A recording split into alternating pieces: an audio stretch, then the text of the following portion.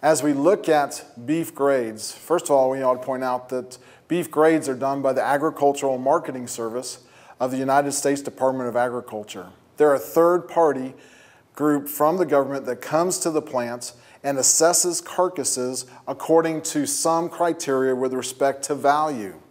The first grade is called beef quality grading.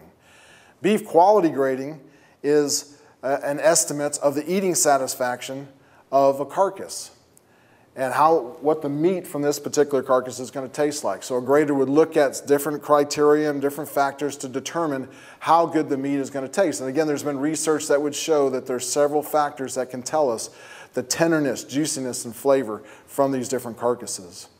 The second set of grades are called yield grades. And what the goal there is they want to know from this carcass how much lean meats will be yielded from this carcass. And thus they call it the yield grade. Probably what's most important from a food service application is quality grade. And as you look at menus uh, across the country, you'll see often different quality grades discussed in those menus. You'll see the words USDA Prime, USDA Choice, USDA Select even. And there is another grade that you don't see, which is a very low quality grade, an inferior quality grade, which is called USDA Standard as we look at what a grader would look at to determine the eating satisfaction from these carcasses in the quality grading system, the first factor, and probably the one that most of you have heard about, is the marbling that's inside these ribeyes. And we're talking about the flecks of fat that are inside the ribeye muscle itself. What we have here, this is a side or a half of beef, and now they have segmented this carcass between the 12th rib, and there's 13 ribs in a beef animal, Here's the 12th rib and the 13th rib, and they've cross-sectioned that carcass at that point. And when they do that, that exposes this large muscle, which we call the longissimus muscle or the ribeye muscle. And the grader will look at this one location to determine the overall quality grade, the marbling score that goes into that quality grade at this point. Now, it's important to point out at this, at this time that what you see in this muscle may not equate to what you'd see throughout the carcass, even uh, as you go throughout the entire loin or the rib, that marbling level might change slightly as you go from one muscle to another. And it might even, in some of the round muscles, for example, have quite a bit less uh, marbling in those muscles. So this is the only place that a grader can assess the quality grade.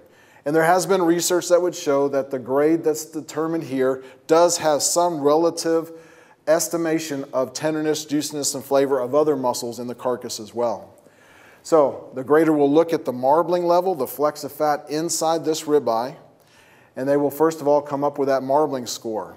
Then they will also look at to determine whether the old animal is older or younger when it goes to harvest. And they'll do that looking at the color of the lean because they know as animals get older, as beef cattle get older, the lean color of this ribeye goes from a bright cherry red color to a darker red color. So they'll look at the color of the ribeye. Then, second, they'll look at the skeleton because there are some changes that happen in the skeleton, particularly in the cartilage.